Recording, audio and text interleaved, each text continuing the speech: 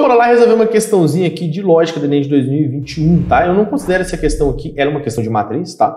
Só que é, a gente viu aí quatro, quatro questões de matriz caindo desde 2009 até hoje. E a gente, como sempre, eu sempre falo que a gente precisa saber interpretar o que, que é link, o que é coluna. A gente não precisa saber produto de matriz nem nada. Então, eu fico até um pouco de receio de falar que isso é uma questão de matriz, apesar de ser de matriz, porque a galera vai o quê? Não, então matriz cai no Enem. E vai querer estudar tudo de matriz. E tem um mundo de coisa de matriz. A gente só precisa saber interpretar linha e coluna, que eu vou mostrar aqui para vocês. Caiu uma questãozinha praticamente idêntica em 2019, tá? Então vamos ver o que está rolando. Uma construtora pretendendo investir na construção de imóveis em uma metrópole com cinco grandes regiões fez uma pesquisa sobre a quantidade de famílias que mudaram de uma região para outra, de modo a determinar qual região foi o destino de maior fluxo de famílias. Qual região foi destino de maior fluxo de famílias? Se levar em consideração o número de famílias que deixaram a região. Os valores da pesquisa estão dispostos em uma matriz A, A e J, interpreta esse cara aqui, A e J pertencente, pertence 1, 2, 3, 4, 5 em que o elemento A e J corresponde ao total de famílias em dezena que se mudarão da região. Aí começa a vir aqui a parte importante. Ó.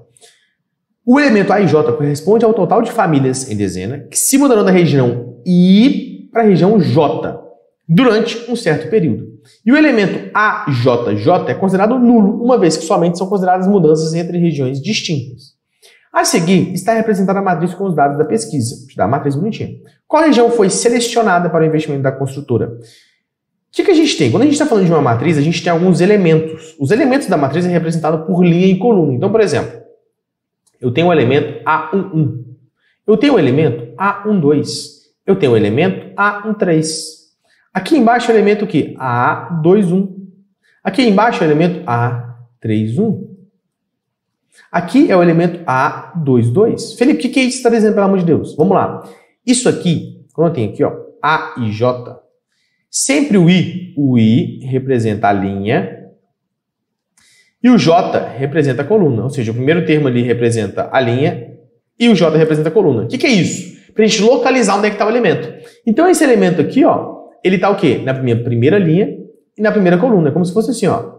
Primeira coluna, as colunas vai um, dois, três, aqui nesse exemplo que eu dei.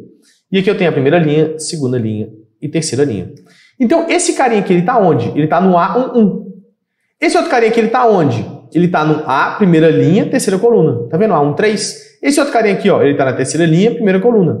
Show de bola. Então, eu localizo. O que, que isso aqui significa? Ele falou que o cara tá saindo da região e indo pro J. Então, vamos interpretar.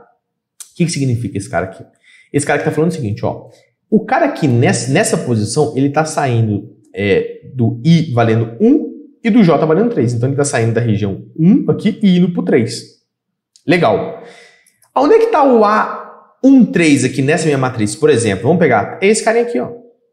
Primeira linha, terceira coluna.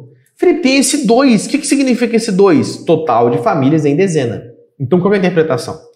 20 famílias, porque está em dezenas, né? Então, 20 famílias saiu da região 1 para ir para a região 3, que é a coluna. Legal, Felipe. E esse outro cara aqui?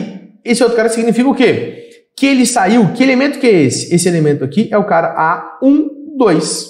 Então ele saiu da região 1 e foi para a região 2. Então, olha que interessante. O que a gente está percebendo aqui? Ó?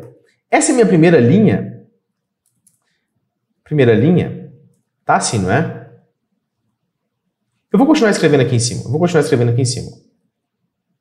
Para não ter que repetir. Então, vou ter A, um 4. Vou apagar aqui.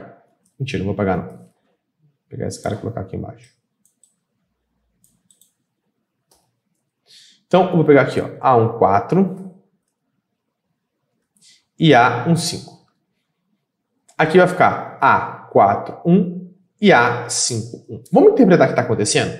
Essa linha inteira aqui é todo mundo que está saindo da região 1 e está indo para outras regiões. A galera que está saindo da região 1 e está para a região 1 é zero, né? Porque está saindo dela para ela mesma. Então não conta. Por isso que esses caras aqui são zeros. Essa é a interpretação. Esse cara aqui está saindo o quê? Da região 1 para 2. Esse cara está saindo da região 1 para 3. Esse cara aqui da região 1 para 4. E aqui tem a quantidade mostrada. Só que eu não quero saber. É, eu quero saber o quê? Eu quero saber a região que mais recebeu pessoas. Então olha que interessante. A coluna me diz quem está recebendo. Não faz sentido, ó. Saiu de 1 para 2, saiu de 1 para 3. Então quem está recebendo é 2, quem está recebendo é 3, quem está recebendo é 4. Agora, olha essa minha coluna aqui, por exemplo. Saiu da região 2 para 1, saiu de 3 para 1, saiu de 4 para 1, saiu de 5 para 1. Ou seja, eu consigo ver nessa minha coluna quantas pessoas foram para a região 1. De 2 para 1, 3 para 1, 4 para 1, 5 para 1. Então essa coluna inteira me diz assim, ó, aí galera, todo mundo aqui desses meus númerozinhos foi para a região 1. Então, zero pessoas foram para a região 1, duas pessoas foram para a região 1, na verdade é 20, né, porque tá com desenho, nós vamos, falar 2. 2 e 1 um, e 1. Um. Então aqui eu tenho um total de quê? De 4. Então quatro dezenas foram para a região 1. Então o que eu vou fazer? Agora eu vou somar essa outra coluna. Então aqui, ó, quatro dezenas foram para a região 2, porque a gente está falando da segunda linha, zero foram para a região 2, depois 2, depois 2. Se eu somar esse cara, dá 8. Ou seja, oito dezenas foram para a região 2. E aqui, vou somar de novo, 2, 6 e 2. Esse cara aqui dá 10. Então, 10 dezenas foram para a região 3. Esse outro carinha aqui, ó, 2 mais 2 mais 3, esse cara dá 7, mais 4 dá 11. Então, 11 dezenas foram para a região 4, porque a gente está olhando a quarta linha. E a última vai ficar 5 mais 3, 8, mais 4, 12. Então, 12 regiões foram para quinta, é, 12 dezenas, na verdade, foram para a quinta região. Então, a região na qual é, foi selecionada para o investimento da construtora, ou seja, que recebeu mais pessoas, foi a região 5, que da letra E de é isso aí. Beleza? Show de buelas!